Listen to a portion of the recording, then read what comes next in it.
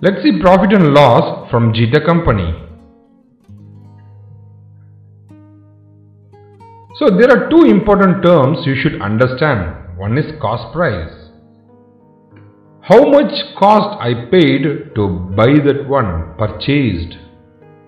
And selling price is how much amount for which I sold, that's selling price.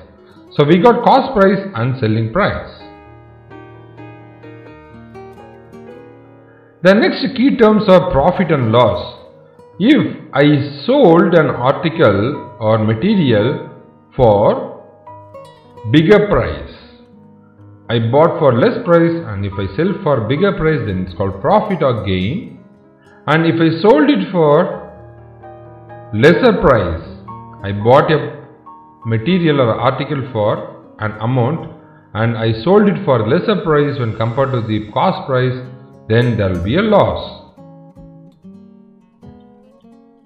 So this is the formulation you should understand and note it down.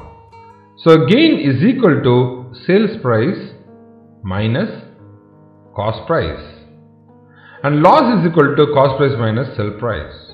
Loss or gain is always reckoned on cost price only and the gain percentage is denoted as gain percentage as gain into 100 divided by the cost price.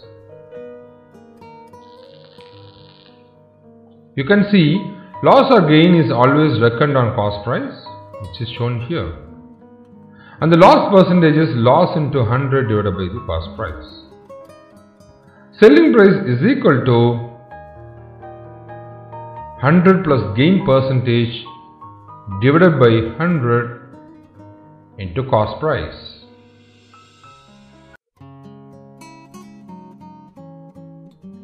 And the selling price is, is equal to 100 minus loss if there is a loss. If it is a gain, the formulation is here. If it is loss, the formulation is here. Loss percentage divided by 100 into cost price. If I want to calculate the cost price from the selling price and gain, this is the formulation. And if I want to calculate the cost price based on the selling price and loss percentage, this is the formulation.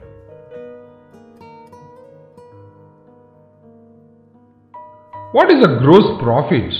Gross profit is nothing but the sales minus cost of sales is referred to as gross profit.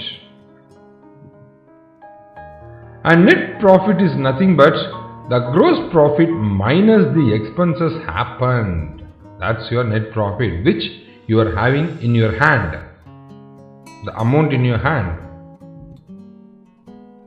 So, sales minus the cost of sales is referred to as gross profit and gross profit minus expense is referred to as net profit.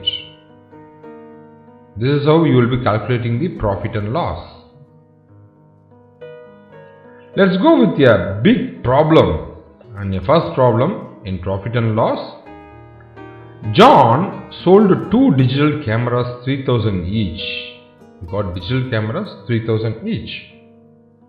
On one he gains 20%.